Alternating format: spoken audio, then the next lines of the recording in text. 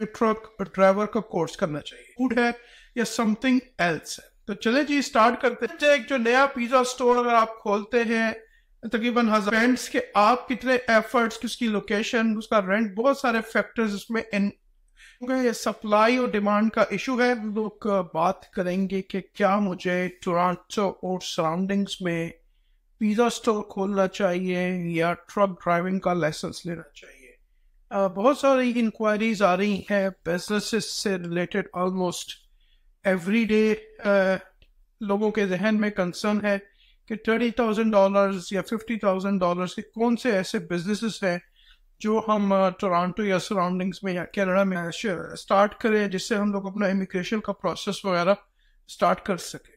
बहुत ही इंपॉर्टेंट ये वीडियो होने जा रही है make sure you watch the video completely और इसको प्लीज़ शेयर एज वेल करें।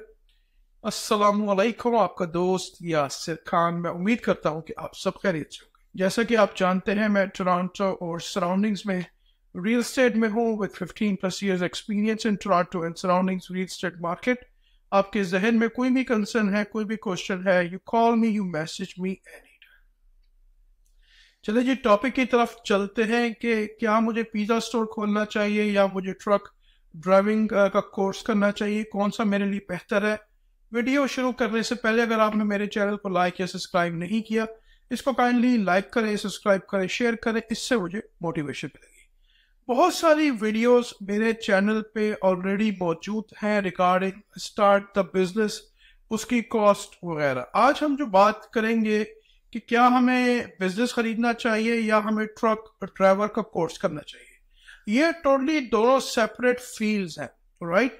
अब ऑल डिपेंड्स करता है कि आप कितना हैवी काम करना चाहते हैं। सबसे पहले हम स्टार्ट करते हैं पिज़्ज़ा स्टोर से। अगर आप पिज़्ज़ा स्टोर टोरंटो या सराउंडिंग्स में या शवरमा स्टोर या कोई भी स्मॉल बिज़नेस शुरू करते हैं फ़ूड रिलेटेड उसमें बर्गर्स हो सकते हैं, उसमें फ्राइड चिकन हो सकता है, उसमें शवरमा हो सकता है, उसमें पिज़्ज़ा हो सकता है।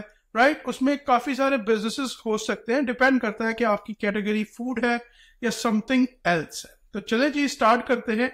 आज ट्वेंटी ट्वेंटी फोर में अगर आप पिज़्ज़ा स्टोर खोलते हैं, अगर उसकी लोकेशन अच्छी है और आप एक पुराना स्टोर खरीद रहे हैं और उसकी सेल्स वगैरह अच्छी है तो वो आप अपने जहन में कम अज कम लेके चले। दो लाख गिव एंड टेक ढाई लाख, तीन लाख। इट ऑल डिपेंड्स कि उसका रेंट कितना है, उसकी सेल्स कितनी है उसका नेट प्रॉफिट कितना है? बहुत सारे इसमें फैक्टर्स कैलकुलेट करते हैं। उसकी लीज कितनी बाकी है राइट तो बहुत सारे फैक्टर्स हैं।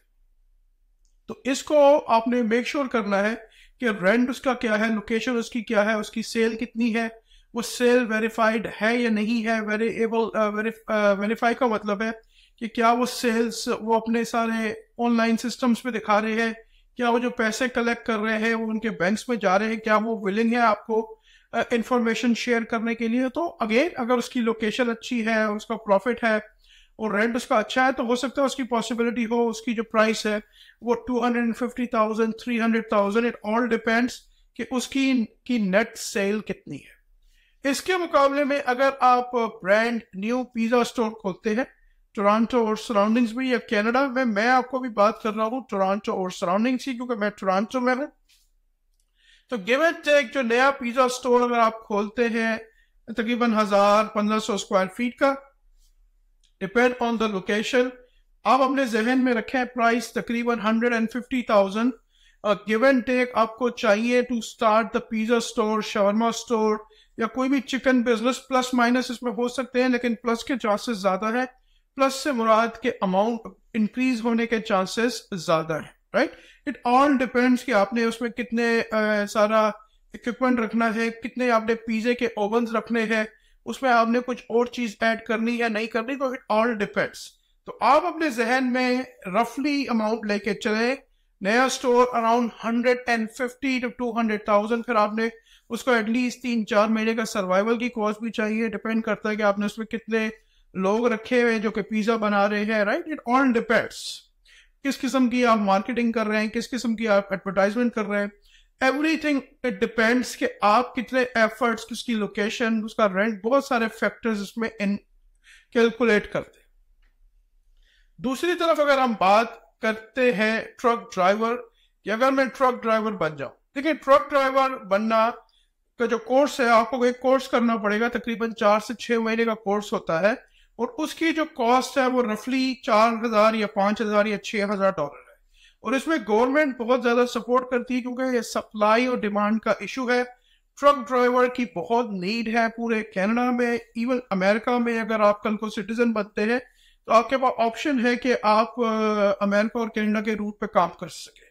तो ये बहुत अच्छी फ़ील्ड है, लेकिन again it's a tough field it's a very hard field हर आदमी ट्रक ड्राइवर नहीं बन सकता, ठीक है?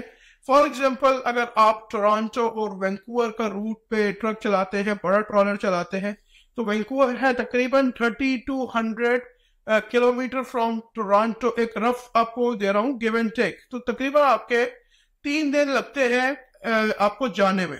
अगर आप दस घंटे का ट्रक चलाते हैं, यहाँ पे नॉर्थ अमेरिका में ट्रक की चलाने की रिस्ट्रिक्शंस भी हैं। आप चौदह पंद्रह घंटे डे के नहीं चला सकते। उसकी रिस्ट्रिक्शंस हैं राइट मेरे ख्याल में टेन आवर्स है या इलेवन आवर है। I have to find I have to do some research लेकिन उसकी रिस्ट्रिक्शन है, उसकी प्रॉपर लॉक्स वगैरह होते हैं जो कि आपको फिल कर रहे हैं।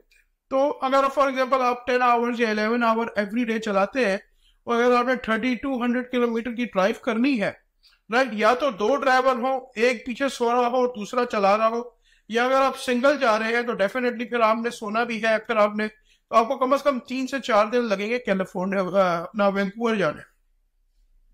अगर आपकी फैमिली है, आपके बच्चे छोटे हैं तो आप फैमिली से दूर हैं। फिर वेदर कितना रास्ते में आपको खराब मिलता है राइट तो अगेन, ट्रक चलाना इट्स अ टफ जॉब लेकिन it's a very decent money महीने के आप at least six seven thousand dollar कमा सकते हैं। इट ऑल डिपेंड्स कि आपका एक्सपीरियंस कितना है। Thirty dollars give and take से स्टार्ट होता है, फिर आपका एक्सपीरियंस और जैसे जैसे होता है, आपके पैसे बढ़ते रहते हैं। उसके बाद फिर एक सडन टाइम आता है, आपको किलोमीटर के या माइल्स के हिसाब से पे किए जाते हैं राइट तो अगर हम बात करें दोनों को तो दोनों में बिग डिफरेंस है।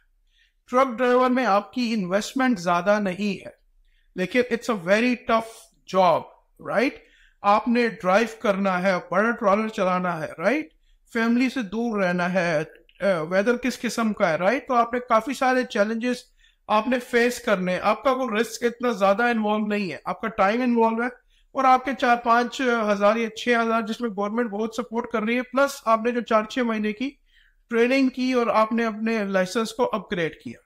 तो डेफिनेटली एजुकेशन तो हमेशा आपके कहीं ना कहीं काम आएगी, लेकिन अगर हम बात करें दोनों का बिज़नेस तो टोटली सेपरेट बिजनेसेस हैं। पिज्जा स्टोर में आपका रिस्क काफ़ी ज़्यादा इन्वॉल्व है। अगर आपके पास पैसे नहीं है और आपने आगे पीछे करके एक पिज्जा स्टोर या शवर्मा स्टोर खोल लिया राइट तो उसमें आपने मेहनत बहुत करनी है राइट लेकिन पिज्जा स्टोर में अगर आप मेहनत करेंगे तो हो सकता है कि वो वहाँ से आपको दस पंद्रह हज़ार, बीस हज़ार आना शुरू हो जाए। कल को आप उसको फ्रेंचाइज मॉडल पे ले जाए राइट आपके दस स्टोर पंद्रह स्टोर बीस स्टोर हो जाए। Uh, ये आप कर सकते हैं लेकिन you have to put lot of money lot of time lot of efforts दूसरी तरफ़ में आप ट्रकिंग का बिज़नेस कर सकते हैं ये भी बहुत अच्छा काम है अपने truck lay down the road और आप अपनी ट्रकों की कंपनी शुरू कर लें। काम दोनों अच्छे हैं। इट ऑल डिपेंड्स आपने ये डिसाइड करना है कि आपके लिए क्या चीज़ बेस्ट है आपकी आपकी फैमिली के लिए क्या चीज़ बेस्ट है।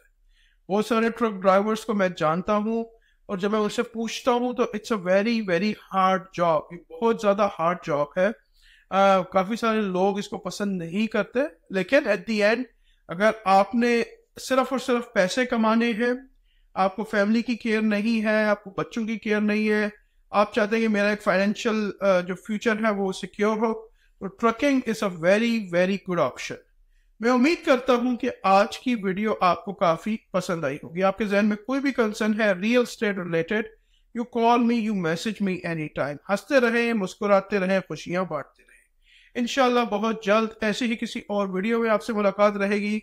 अल्लाह हाफिज all the best and take care